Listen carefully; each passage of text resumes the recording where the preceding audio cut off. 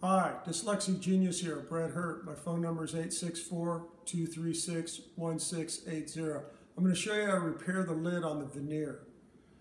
You can use any piece of wood. I use these spoons I found like in a McDonald's or a Starbucks. This is very thin and you need a piece of thin wood, a long toothpick. You might have to sh shave them down. What you want to do is you want to know how far all this goes back. So I use this as a probe and I slide it in here and there's exactly how far it goes in. Well, this piece I've measured kind of wiggles over this way right here, like that. You're going to need some saran wrap.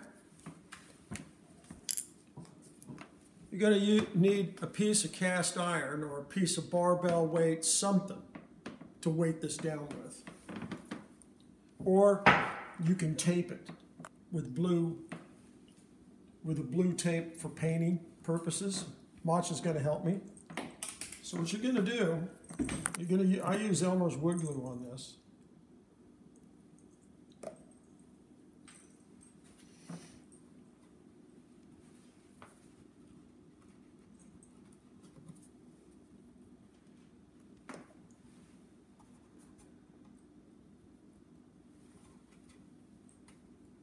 You want to make sure you get the edge with the glue.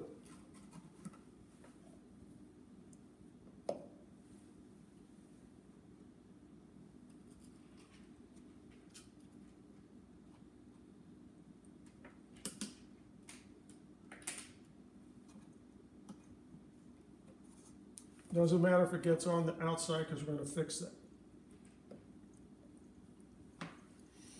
The reason you don't want to crack it is because the glue is going to come out underneath. It'll come right off the top.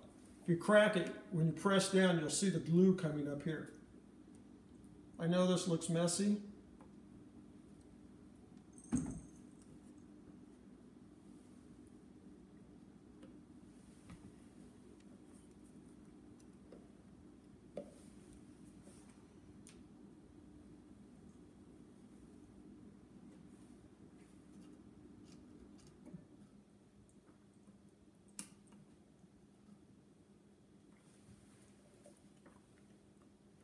The reason I don't inject it is I can control the amount that I put in.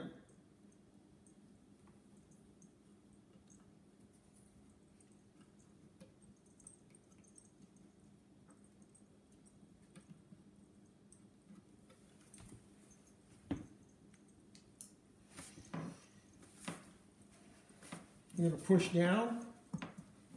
You can see it ooze out. You're going to wipe. You're going to hold down for a moment, let it get tacky.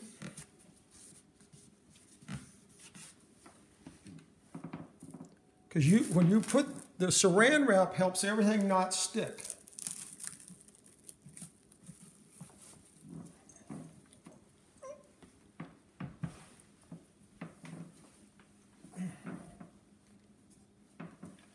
And you can see here on the edge,